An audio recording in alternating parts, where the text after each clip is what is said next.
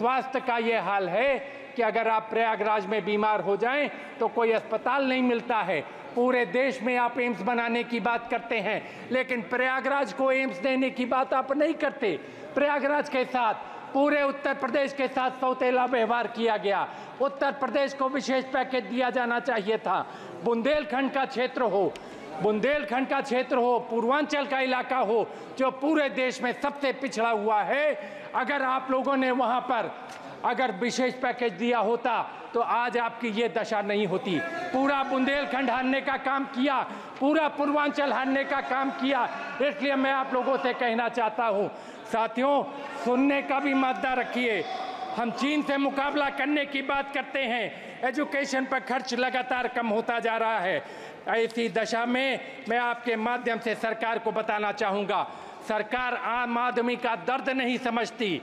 आम आदमी की शिक्षा और विकास पर ध्यान नहीं देती कि चाहे जितनी कोशिश कर ले अपनी कुर्सी बचाने की। जनता की जब आह निकलती है तो बड़ी बड़ी हुकूमतों को हिला देती है। आपको समझना चाहिए, जनता की आज आह निकल रही है। आज मध्यम वर्ग करा रहा है। जिस तरीके से इंडेक्सेशन कॉस्ट आप लगा रहे हैं इंडेक्सेशन आप खत्म कर रहे हैं, आपने लगा कर जो है खत्म किया पिछले रास्ते से आप इनहेरिटेंस टैक्स लाने का ये जो आप प्रयास कर रहे हैं, ये मध्यम वर्ग इस चीज़ को समझता है। आज मध्यम वर्ग परेशान किससे है? इन्फ्लेशन से परेशान है, नौकरी न मिलने से परेशान है, उसके बच्चे बेरोजगार घूम रहे हैं, उससे परेशान है। आज किसान किस चीज़ से परेशान है?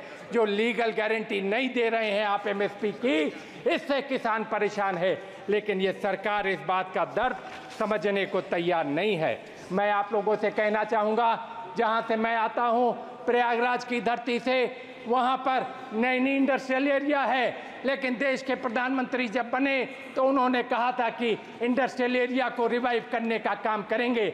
2014 से 24 आ गया, एक भी इंडस्ट्री को पुनर्जीवित करने का काम इस सरकार ने नहीं किया। मैं सरकार से कहना चाहता हूँ, अगर आप दोहरा रुख अपनाएँगे, सौतेला व्यवहार अपनाएँगे तो कहीं ना कहीं जनता आपको दंडित करने का काम करेगी। इलाहाबाद के साथ कोल जाति को जनजाति का दर्जा देने की बात मुलायम सिंह यादव और अखिलेश यादव की सरकार ने कही थी। उसका प्रस्ताव भेजा था, लेकिन आपकी सरकार ने कोलों को जनजाति दर्जा देने की बात नहीं की। मैं आप लोगों से कहना चाहता हूँ, सत्रह जातियों को जनजाति का दर्जा देने की बात उत्तर प्रदेश की विधानसभा में पास करके भेजा था अखिलेश यादव जी और मुलायम सिंह यादव जी की सरकारों ने। लेकिन इस सरकार ने सत्रह जातियों को जनजाति का दर्जा नहीं दिया। इसलिए मैं आप लोगों से बस अंत में एक बात कह के जो है नज़ीर अकबरबादी का एक शेर की कुर्सी बचाओ सरकार को मैं चेतावनी देना चाहता हूँ और अपनी बात को मैं ख़त्म करना चाहता हूँ। अकबर नज़ीराबादी का शेर है जो आपके बीच मैं रख रहा हूँ। क्या मसनत तकिया मुल्क मकान, क्या चौकी कुर्सी तख्त छत्तर सब ठाट पाट बड़ा पड़ा रह जाएगा जब लाद चलेगा बंजारा। इसलिए मैं साथियों मैं आप लोगों से कहना चाहूँगा इस सरकार को जो किसान विरोधी बजट है नौजवान विरोधी बजट है महिला विरोधी बजट है जो शोषित और वंचित वर्ग के खिलाफ ये बजट है इसका हम लोग पुरजोर विरोध करते हैं। जातिगत जनगणना की बात करते हैं देश में जनगणना की बात करते हैं। और इसके साथ आपका आभार अधिष्ठाता महोदय बहुत बहुत धन्यवाद बहुत बहुत